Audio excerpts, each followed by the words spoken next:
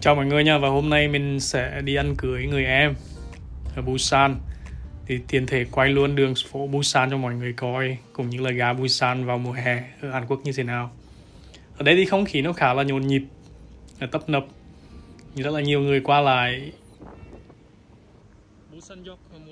Vào thời điểm này thì thời tiết cũng khá là nóng nên đi ngoài trời um, cũng trói chang là mọi người ạ nói chung chỉ cần có một cái lý do gì mình mới ra ngoài thôi. Còn lại bình thường thì chúng ta sẽ thích ngồi ở công viên hoặc là ở trong phòng nhiều hơn.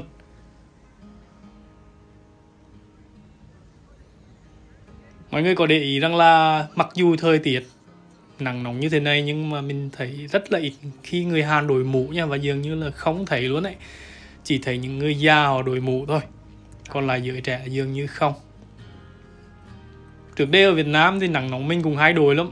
Mà giờ thì dường như cũng học theo cái cái đó của người Hàn rồi.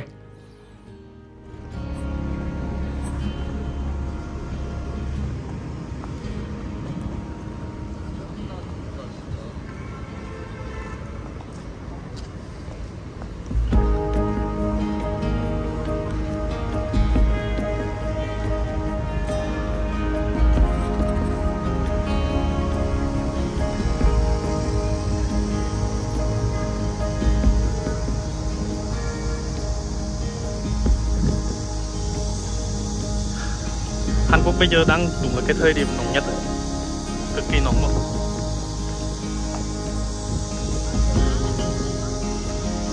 trăm mét em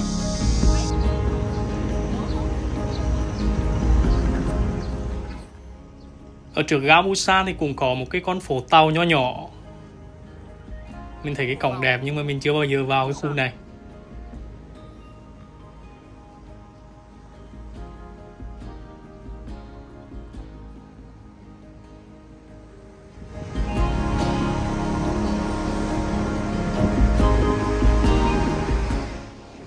Mình thường đi sâu đám cưới cuối tuần ở Hàn Quốc thì nhiều người hỏi rằng là đám cưới của người Việt hay là người Hàn.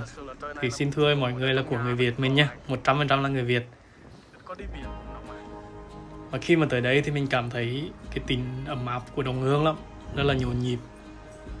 Nhưng mà cái phong cách chơi đám cưới bên này thì nó sẽ khác ở Việt Nam một tí. Nó sẽ mang về thiên hướng là nhảy nhọt nhiều hơn, là mình giao lưu âm nhạc ban đầu thì thấy la lá nhưng mà giờ thì mình quen rồi. Tại vì mình cũng đã có hơn một năm kinh nghiệm làm show đám cưới bên này rồi. Và thêm nữa là cái cách ăn cưới bên này thì nó dạng buffet. Cũng khá là hay. Cái này thì có thể là sẽ không áp dụng được cho đám cưới ở quê mình.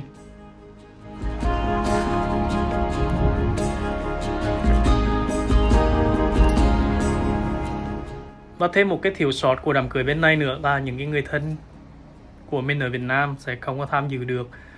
May mắn lắm có những bạn visa hợp pháp hoặc là visa cao cấp có thể bảo lãnh được ba mẹ sang anh chị em sang để tham dự đám cưới thì là một cái gì đó rất là uh, hạnh phúc. Mình từng có một dịp làm đám cưới ở Tròn An và lúc đó cô dâu và chủ rể bảo lãnh được đôi bên ba mẹ đôi bên luôn. Thì thật sự đó là một cái đám cưới cực kỳ hạnh phúc.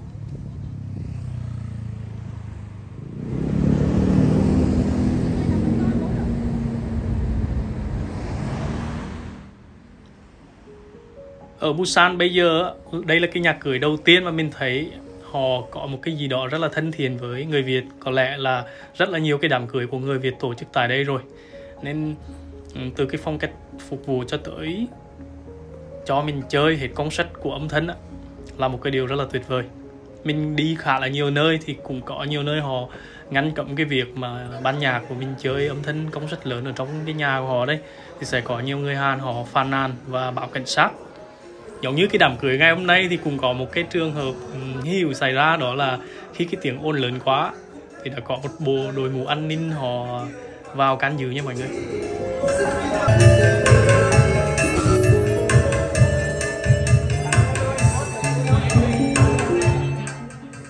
Một cái đám cưới tại Hàn Quốc mang màu sắc âm nhạc của Việt Nam mình.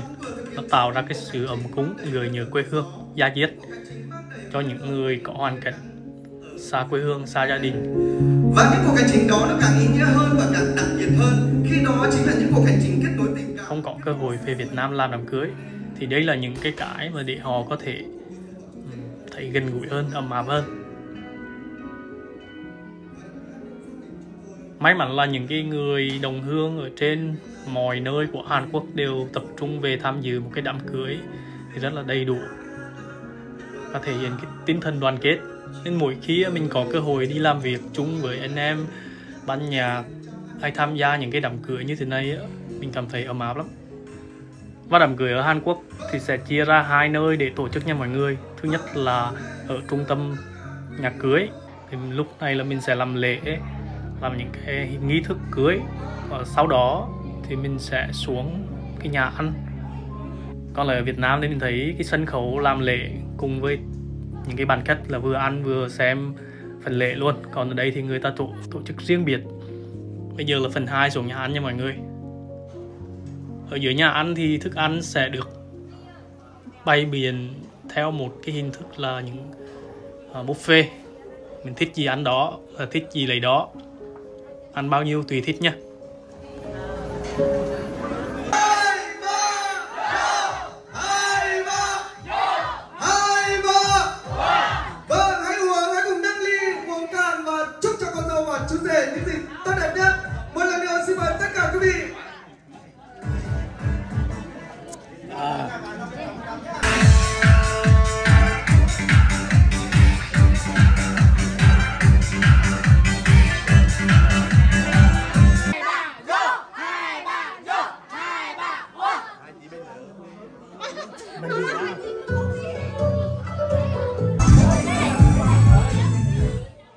và thêm nữa khi sang Hàn, mình mới biết đến cái tính năng là vừa đám cưới vừa phát livestream chất lượng cao lên Facebook cũng như là YouTube, để dành cho những người thân yêu ở quê hương có thể là xem.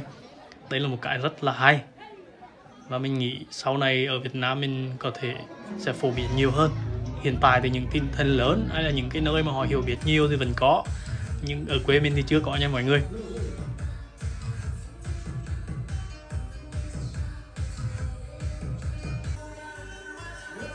Lúc này là quả ôn nên có nhân viên cảnh sát vào kiểm tra này họ nhắc nhở này.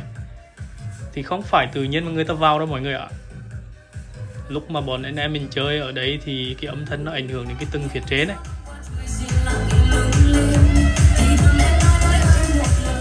sau khi phần ăn uống kết thúc thì chúng ta hòa nhập vào cái không gian của những bản nhạc DJ hot nhất hiện nay. Anh em vừa quẩy, rất là vui, thật sự rất là vui mọi người ạ.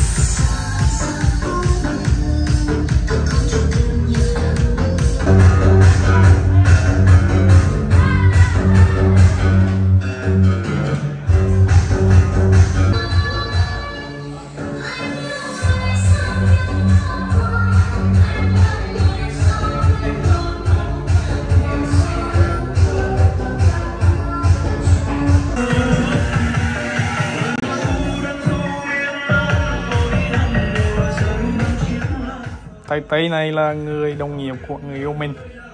Thì cũng lớn tuổi rồi nhưng mà cũng chơi khá là vui.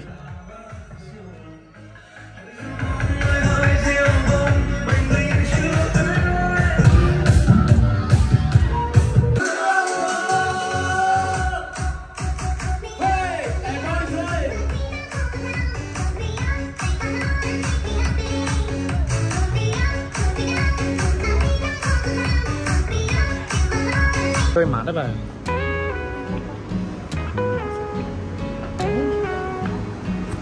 à, như vậy là cũng đã kết thúc xong một cái đám cưới à, bây giờ chiều rồi nên là thời tiết nó cũng khá là dịu.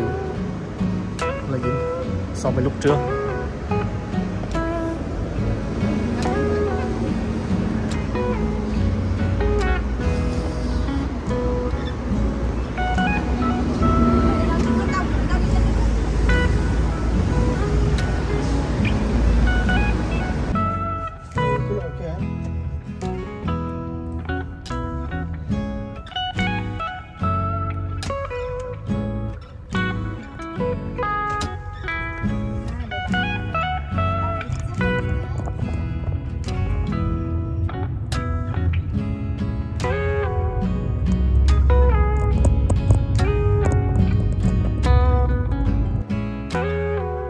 thức, bởi vì thì mua thì mua đôi giày 140 ngàn luôn.